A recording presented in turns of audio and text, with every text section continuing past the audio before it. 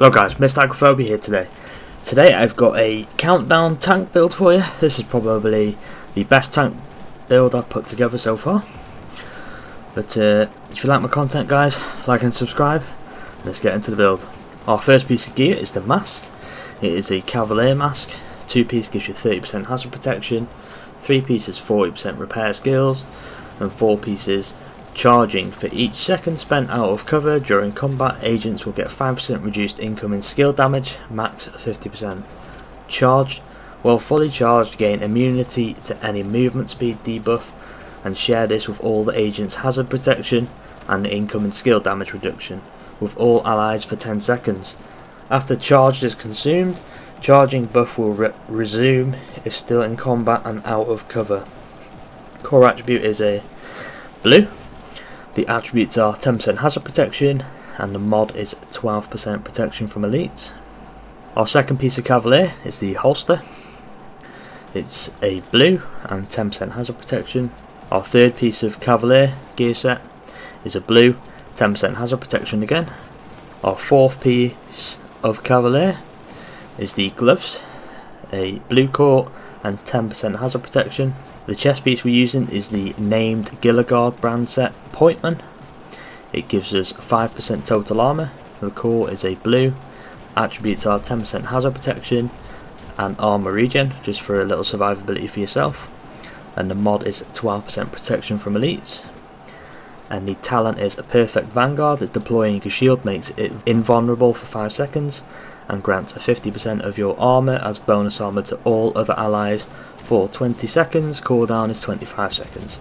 So we have 2 million armor guys, so you're granting 1 million bonus armor to your teammates. And in countdown you have another 7 teammates, so a lot of survivability. The backpack we're using is the Uzina Getica brand set, 5% total armor. Core attribute is blue, attributes are 10% hazard protection, armor regen, and the mod is 11% protection from elites. The talent is Galvanize, applying a blind, ensnare, confuse or shock to an enemy grants 40% of your armor as bonus armor to allies within 20 meters of that enemy for 10 seconds. So that is 800,000 armor. So you're potentially granting your whole team 1.8 million bon bonus armor. So that is really good for survivability, especially in heroic countdown, which most enemies are yellows, elites. Our primary weapon is the stage left, the rifle. Uh, our core attributes are 10.1% rifle damage, 17% critical hit damage, and the attributes are 23% optimal range, but we're not really stacked into damage, this is just for support for your team. The talent is Perfect Sledgehammer, dealing damage with a grenade applies a mark on target. Targets with mark will take 40% more damage to armour and have minus 30% movement speed, Mark will disappear after 10 seconds. That's good for the hunters if you can get a grenade onto them. Those are the mods. Secondary gun we're using to proc galvanize all the time as well is the exotic shotgun Scorpio. Correct beats are 14.9% shotgun damage, 12% damage to armor, and 10% critical hit damage. And the talent, if you don't have this gun yet, is Septic Shock. Shooting a target applies stacks of venom which lasts 10 seconds, increasing stacks adds more severe debuffs to the target. 1. Poison 3. Disorient 6. Shock 7. Target makes additional 20% damage from all sources, stacks no longer increase. Duration of stats effects is based on percentage of pellets hit on applying shot. Those are the mods with the exotic. I decided to use the TDI Kard Custom because you get a free skill tier. Core attributes are 12.3% pistol damage, skill tier, and in sync, hitting an enemy grants 15% skill damage for 5 seconds. Using a non-shield skill or damaging an enemy with a skill grants 15% weapon damage for 5 seconds. Damage increases doubled, while both buffs are active at the same time, but we're not stacked into damage guys or skill damage, it's just for the skill tier. Those are the mods I put on. Our primary skill is the Crusader Ballistic Shield because you're granting your bonus armor from Vanguard, your chest piece talent. Your tier 6 because you are 6 blues, so your shield will be really tanky and you have protection from elite so it'll be even more tankier in heroic. And those are the mods I've got. Our second skill is to help get galvanize for your teammates. Those are the mods. This is the overall build guys. 4 piece Cavalier, Pointman, Chest, Vanguard, Galvanized Backpack. We have 2 million armor, the Scorpio to proc Galvanize and Riot Foam to proc it. And if we can get Sledgehammer, that's for your teammates. And uh, our stats are, if we go all the way down, remember guys, you're a 100% hazard, so when that charged procs on your gear set, you're giving your teammates 100% hazard protection. So against the hunters, they won't get EMP'd, their skills won't get EMP'd so they can use their skills like shields, uh, etc. Remember guys, you also get 10% hazard protection from your SHD watch, so if you're a high rank, you'll get the 10%.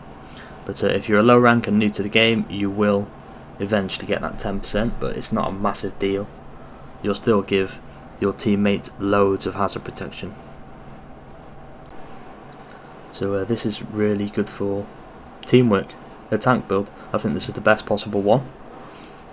But uh, I'll show you specialization.